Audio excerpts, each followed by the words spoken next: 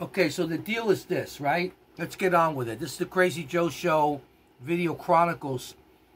And uh, I'm fired up tonight, as I should be. We got two fucking dickless dickwad losers out there. We got actually more than that.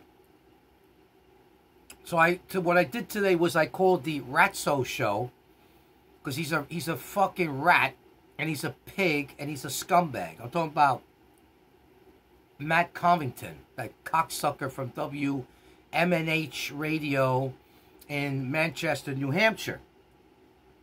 And all the people that are, you see, Matt, he thinks he's slick. He's got all these people that back him, and he goes, Oh, Joe, I got friends. Uh, you mean you got butt munchers that fucking, uh, you know, stick their tongue up your ass and the fact that you brainwashed them, um, because these people are simpletons in New Hampshire. They're a bunch of fucking mentally retarded scumbags. And uh, they're all white trash, and they come from the uh, Boone's Farm, uh, Ben and Jerry's farm over there. Fucking cows, fucking sheep, fucking pigs, etc. Then you got Charles Richardson.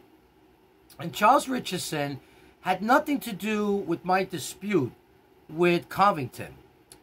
He decided, see, what Covington did was that since he can't fight his own battles, what he does is he, he recruits all these people because he's got a terrestrial radio show where you know he's going to get attention, even if even though his show sucks, the worst fucking show. And I'm not just saying that because I dislike the guy. I'm saying that because I dislike the guy. No, I'm saying that because he does suck, and he's boring. And I've had my people listening to his fucking show, and they want to fall asleep. And Charles Richardson is no better. Charles Richardson is more of a dirtbag than I could say anything about his show. He's a low-life dirtbag that was called by Matt Covington to come to his fucking rescue. Me and Covington, I explained the whole situation in my prior videos. And, um, you know, how this shit got, you know, started with me and Covington. And um, Covington is a coward. He's chicken shit. And he's a fucking loser. He has to recruit other people for the state of New Hampshire. Actually, that's where the show's from. And he's got all these fucking retards. He's got a transvestite that's a, uh, a co-host on this show. I'm sure they've gotten it on. Jenny, you should keep an eye on your boyfriend and Stacy out there. I think they're doing it dirty you know, from what I understand and I heard through the grapevine.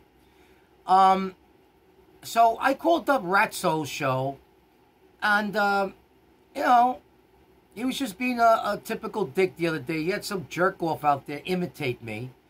And, um, and uh, the reason why is because I, I am significant. I am renting space, not just in Covington's mind, but I'm renting space in dirtbag Charles Richardson, who keeps claiming he's 43, but in reality he's 103. And he's a low-life dirt scum. He looks like a fucking vagrant. His family looks like a bunch of fucking pigs and bums. He probably lives in the seedy side of Florida, because he's from Florida. But, you see, Richardson, even though there's a cast of characters here,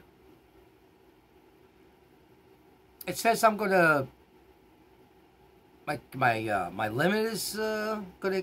Well, anyway, I'll keep going until my limit. I usually get about ten minutes